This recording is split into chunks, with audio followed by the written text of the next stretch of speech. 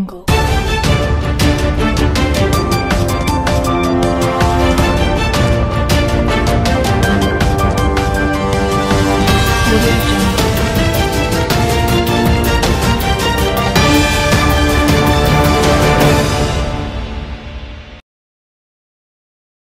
अब की स्वागत स्वागतम బైన్సాపట్నంలోని ఎస్ఆర్ఆర్ ఫంక్షన్ హాల్లో బైన్సా రూరల్ పోలీస్ ఆధ్వర్యంలో జాబ్ మేళా నిర్వహించారు.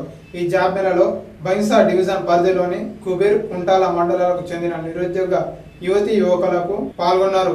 ఈ కార్యక్రమానికి జిల్లా ఎస్పీ శశిధర్ రాజు హాజరయ్యారు. ఎస్పీ మాట్లాడుతూ జాబ్ మేళాలో పాల్గొన్న యువతి యువకులు దరఖాస్తులను పరిశీలించి ఉద్యోగాల భర్తీకి ఎంపిక చేస్తారని పేర్కొన్నారు. ఎంపికైన వారికి ఉచిత శిక్షణ కూడా ఇస్తారన్నారు. నిరుద్యోగ యువతి యువకులకు ఉపాధి కల్పించడం ద్వారా వారి బంగారు భవితకు బాటలు వేయాలనే ఉద్దేశంతో ఉద్యోగ మేళాలను నిర్వహిస్తున్నట్లు ఆయన తెలిపారు.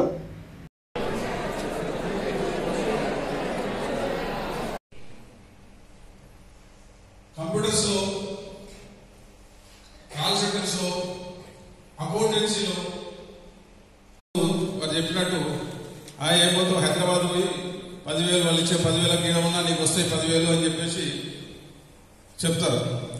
కానీ మన విశ్వనాథ్ గారు ఒకసారి మనం ఇంటి నుంచి బయటికి వెళ్ళిన తర్వాత ఆ బయట ప్రపంచంలో ఒక ఫీల్డ్ ప్రతి ఒక్కరు తెలుసు ఒకతను క్యాజువల్ గానే నట్లు బోల్ట్లు ఒక ఫీల్డ్లో మీకు ఇంట్రెస్ట్ ఉంటుంది దాన్ని ఐడెంటిఫై చేసి దానికి సంబంధించిన కమ్యూనికేషన్ స్కిల్స్ కానివ్వండి సాఫ్ట్ స్కిల్స్ కానివ్వండి ఊరి చెప్పినట్టు పదివేలు కాదు డివిజన్ నిర్మల్ జిల్లా బైసా డివిజన్లో DSP Narasimha Rao inspector Bhainsa rural Raveen and SI Chand and వాళ్ళ టీంతో జాబ్ మేళా ఏర్పాటు చేయడం జరిగింది.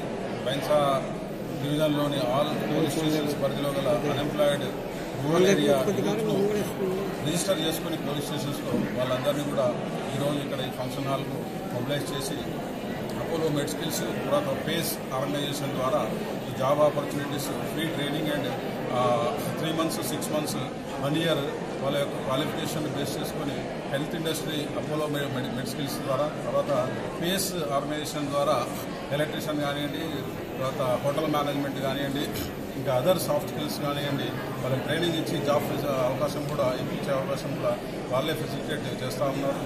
ఫ్రీ ట్రైనింగ్ ఇచ్చి అకామిడేషన్ తర్వాత భోజన వసతి హైదరాబాద్లో ఏర్పాటు చేసి వాళ్ళకి జాబ్ ఆపర్చునిటీస్ కూడా క్రియేట్ చేసినందుకు వాళ్ళందరికీ కూడా నేను ధన్యవాదాలు తెలుపుతున్నాను. అదేవిధంగా అన్ఎంప్లాయిడ్ యూత్ దాదాపు రెండు మూడు వందల మంది మనకు గర్ల్స్ బాయ్స్ ఇక్కడ రావడం జరిగింది. వాళ్ళందరూ కూడా ఈ అవకాశాన్ని వినియోగించుకొని అంతా కూడా ఎంప్లాయీస్ కావాలని చెప్పేసి అన్ఎంప్లాయిడ్గా గ్రామాలలో తిరగడం కంటే పేరెంట్స్ మీద డిపెండ్ అయి ఉండడం కంటే అదే కాకుండా మా మేము కూడా గ్రామంలో విలేజెస్లో యూత్ అన్ఎంప్లాయిడ్గా సైడ్ ట్రాక్ అయ్యి అటు ఇటు అనార్గనైజ్డ్గా ఉన్నట్టు ఏది ఉంటే ఏదైనా యాంటీ సోషల్ ఎలిమెంట్స్ బారిన పడితే వాళ్ళు ఇంకా జీవితం మీద ప్రభావం చూపే అవకాశం ఉంటుంది కాబట్టి వాళ్ళను సరైన ట్రాక్లోకి తీసుకురావడానికి కూడా ఇది ఉపయోగపడుతుందని చెప్పేసి జాబ్ మేళాస్ డీజీపీ శ్రీ మహేందర్ రెడ్డి గారి ఆదేశానుసారం మన గత రెండు సంవత్సరాల నుంచి మనం జిల్లాలో చేస్తా ఉన్నాం. ఇప్పటిదాకా తొమ్మిది వందల మందిని మనము ట్రైనింగ్స్కు తర్వాత జాబ్ ఆపర్చునిటీస్కు కల్పించడం జరిగింది. గతంలో ఇక్కడి నుంచే రెండుసార్లు మనం బస్సులను పంపించడం జరిగింది. అదేవిధంగా six months back collector and Nirmal గారు collector Nirmal and minister Aikya Reddy గారి ఆధ్వర్యంలో కూడా మనం నిర్మల్లో కూడా రెండు బస్సులను మనం ఫ్లాగ్ ఆఫ్ చేసి అన్ఎంప్లాయిడ్ ట్రైనింగ్ హైదరాబాద్ పంపించడం జరిగింది. సో ఇది కంటిన్యూస్గా మనము జిల్లా లెవెల్ కాకుండా మండల లెవెల్లో కూడా మనం పోలీస్ స్టేషన్ లెవెల్లో ప్రతి పోలీస్ స్టేషన్ లెవెల్లో కూడా ఈ జాబ్ మేళాను ఏర్పాటు చేసి ఆ ఏరియాలో ఉన్న ప్రతి ఒక్క unemployed back rural background area ఉన్న వాళ్ళందరికీ కూడా ఈ ఎక్స్పోజర్ అనేది లేక ఉంటారు కాబట్టి వాళ్ళకి ఎక్స్పోజర్ ఇవ్వాలి. ఈ ప్లాట్ఫామ్ ద్వారా వాళ్ళకు హైదరాబాద్లో వాళ్ళు పోయినట్టు ఏదంటే వాళ్ళకు లైఫ్ సెటిల్ అవుతుంది అని చెప్పేసి ఏర్పాటు చేయడం జరుగుతూ ఉంది. ఇవన్నీ సో రానున్న రోజుల్లో ఇంకా ఎక్కువ అన్ని మండలాల్లో కూడా కవర్ చేసి మ్యాక్సిమం అన్ఎంప్లాయిడ్ యూత్కి అవకాశాలు ఉండేలాగా చూస్తారు పట్టణంలోని పేద మధ్యతరగతి కుటుంబాలకు రెండు వేల పదమూడులో అప్పటి ఎమ్మెల్యే వేణుగోపాల్చారి ఆధ్వర్యంలో సర్వే నంబర్ ఒక వంద పద్దెనిమిదిలో ఇళ్ళ స్థలాల పట్టాలను ఇవ్వడం జరిగిందని కానీ దానికి సంబంధించిన స్థలాన్ని ఇప్పటి వరకు కేటాయించలేరని ఎన్నోసార్లు అధికారులకు విన్నవించినా పట్టించుకోవడం లేదని బైన్సా పట్టణ వాసులు ఎంఆర్ఓకు వినతి పత్రాన్ని అందించారు.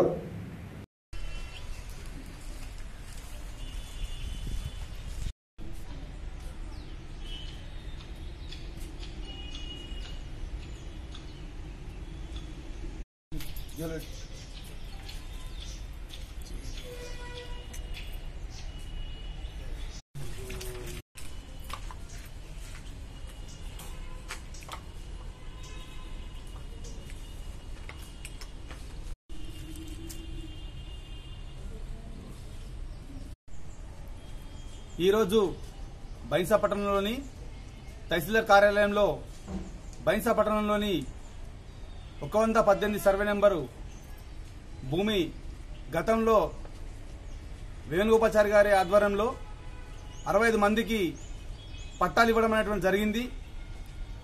దాన్ని దానికి సంబంధించినటువంటి ఏదైతే స్థలం ఉందో ఆ స్థలాన్ని ఇప్పటివరకు కేటాయించలేదు. మరి దానికి సంబంధించిన అర్హులైనటువంటి నిరుపేద మధ్యతరగతి కుటుంబాలకు సంబంధించిన వాళ్ళు ఉన్నారు. మరి వారు ఇప్పటికీ కిరాయిలలో జీవిస్తున్న పరిస్థితి కనబడతా ఉంది. మరి పట్టాలిచ్చి భూమి స్థలము కేటాయించకపోవడం అనేటువంటిది చాలా విడ్డూరమైనటువంటి విషయము.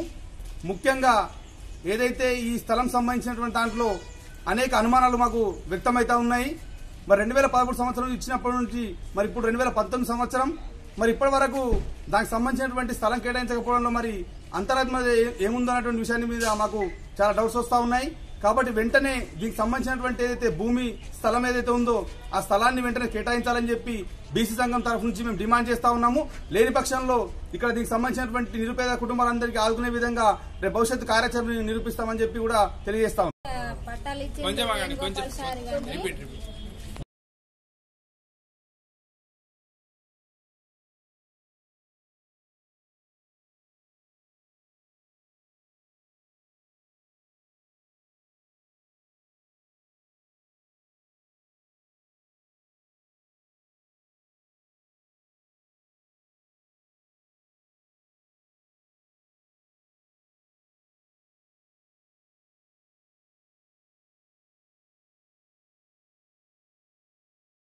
స్వచ్ఛతతోనే గ్రామ అభివృద్ధి జరుగుతుందని తానూరు మండలంలోని ఖర్బాల గ్రామ సర్పంచ్ సాయినాథ్ అన్నారు.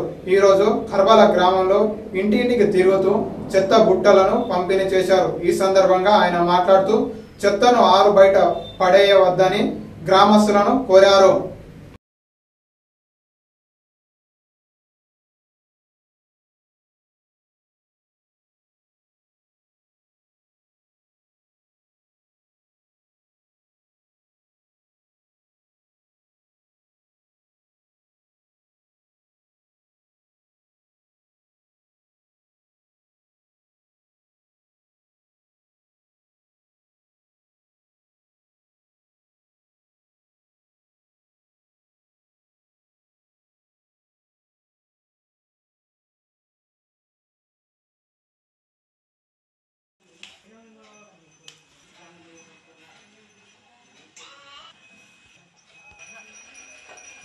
ఈరోజు ఖర్బాల గ్రామ పంచాయతీ ఆధ్వర్యంలో మేము ఈ ఖర్బాల గ్రామస్తులందరికీ ఇంటింటికి డస్ట్బిన్లు పంపిణీ చేయడం జరిగింది. ఈ డస్ట్బిన్ల పంపిణీ ముఖ్య ఉద్దేశం ఏంటంటే చెత్తను బయట పడేయకుండా డస్ట్బిన్లోనే పడేయడం. ఆ డస్ట్బిన్లను ఇప్పుడు ఎంపీడబ్ల్యూ అంటే మల్టీ మల్టీపర్పస్ వర్కర్స్ ఇంటింటికి గ్యార్బేజ్ క్లీనింగ్లో భాగంగా దాన్ని ఇంటింటికి వెళ్ళి డస్ట్బిన్ క్లీన్ చేసుకొని డంపింగ్ యార్డ్లోకి తీసుకెళ్ళి ఈ గ్రామాన్ని పరిశుభ్రంగా ఉంచడానికి చేయడం జరుగుతుంది. ఇప్పుడు మేము ఖర్బాలను మెయిన్ మేము వెళ్ళే మోటో ఏంటంటే గ్రీన్ ఖర్బాల క్లీన్ ఖర్బాల ఈ మోటోతో మేము ముందుకెళ్తున్నాం. ఇందులో భాగంగానే ఈ కార్యక్రమాన్ని మేము చేపడుతున్నాం. ఒక్కొక్కటి చేసుకుంటూ ముందుగా ఈ కార్యక్రమాన్ని మేము చేసుకున్నాం. ప్రతి ఇంట్లో చెత్తను ఆ డస్ట్బిన్లోనే వేసి ఈ యొక్క గ్రామం పరిశుభ్రంగా ఉండేటట్టు ప్రజలందరూ మాకు సహా- సహాయపడతారు. అదేవిధంగా మేము గ్రామ పంచాయతీని ఈ యొక్క గ్రామాన్ని పరిశుభ్రంగా మరి ఆరోగ్యంగా ఉంచుకుంటాం. దీనికోసం మేము కూడా మా వంతు మేము సాయశక్తుల కృషి చేస్తున్నాం. దీనికి మాకు ప్రజలు కూడా సహకరిస్తున్నారు. మహమ్మారి అయిన ఎయిడ్స్ క్షయ నిర్మూలనకు ముక్కుమ్మడిగా కృషి చేద్దామని క్షయ supervisor Lalaiah ICTC counsellor Srinivas అన్నారు. సోమవారం ముదం మండల కేంద్రంలోని శ్రీ సరస్వతి శిశు మందిర్ పాఠశాలలో ఎయిడ్స్ క్షయ వ్యాధిపై విద్యార్థులకు అవగాహన సదస్సు నిర్వహించారు. అదేవిధంగా పోలీస్ స్టేషన్ ఆవరణలో క్షయ ఎయిడ్స్ పరీక్షలను నిర్వహించారు.